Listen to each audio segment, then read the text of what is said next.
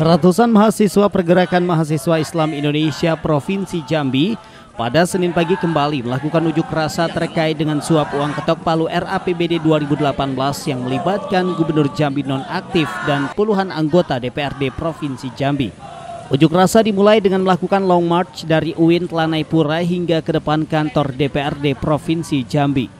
Dalam aksinya, ratusan mahasiswa menuntut agar KPK mempercepat kepastian hukum para pelaku korupsi uang ketok palu RAPBD Provinsi Jambi 2018 dan mengusut tuntas hingga ke akarnya. Selain itu, mahasiswa juga meminta agar KPK menangkap dan memenjarakan semua oknum yang terlibat dalam jamaah korupsi ketok palu RAPBD, termasuk Fahrori dan Rahima Fahrori serta menolak dan mengharamkan segala fasilitas dan uang perjalanan dinas anggota DPRD Provinsi Jambi yang terkena kasus suap RAPBD. Saat mahasiswa melakukan aksi di depan kantor DPRD Provinsi Jambi sempat bentrok dengan petugas kepolisian dipicu karena tidak ada dewan yang menemui masa. Masa yang kecewa akhirnya mengamuk dan masuk dalam kantor DPRD namun dihalangi petugas sehingga terjadilah bentrok antara mahasiswa dan pihak kepolisian.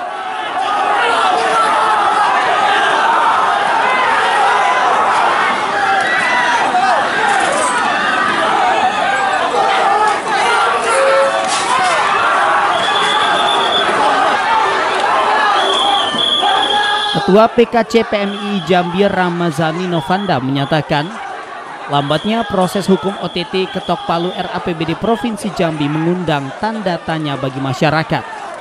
Mengingat kasus serupa pernah terjadi di DPRD Kota Malang dan semua yang terlibat dengan cepat menyarungkan rompi oranye dan menjadi tahanan KPK. Sampaikan bentrok sama polisi gitu. Tadi memang ada sempat uh, chaos karena sekwan dan anggota DPRD Provinsi Jambi itu tidak mau menemui kami di sini. Azam Asmi, Jambi TV.